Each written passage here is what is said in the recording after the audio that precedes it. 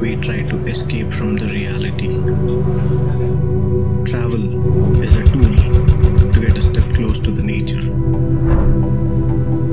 The green trees, the hills, the lake, the temple. Here is a story from my trek. Climbing uphill,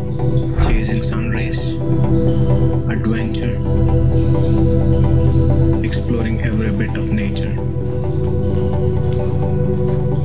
For that one view.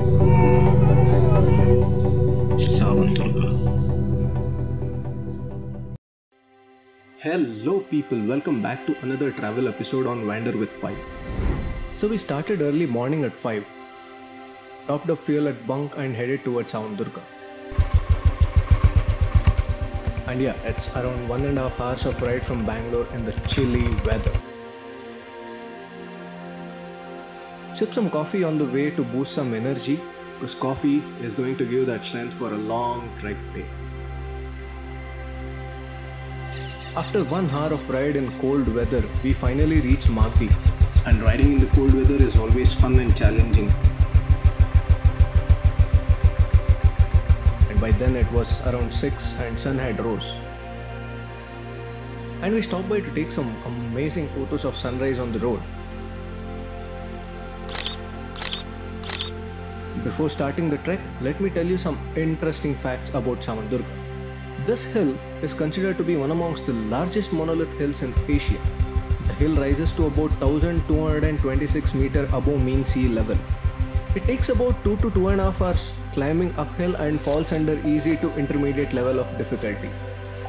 And trust me, this has got one of the beautiful views with hills surrounded by and there is a small Nandi temple on the top. And without wasting any time, let's run a quick tour to reach the top.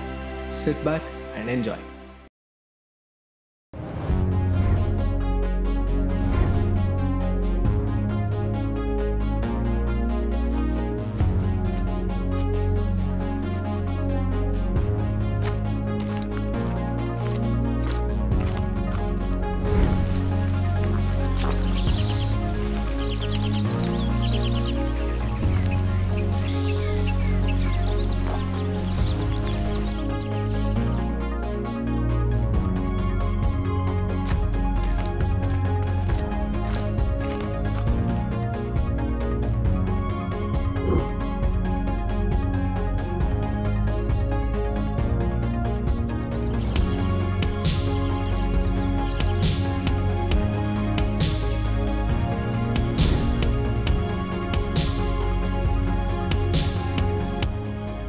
While on our way back, we visited the temple at the lap of Savandurga Hills, Sri Lakshmi Narasimha Swami Temple, and took the blessings of God.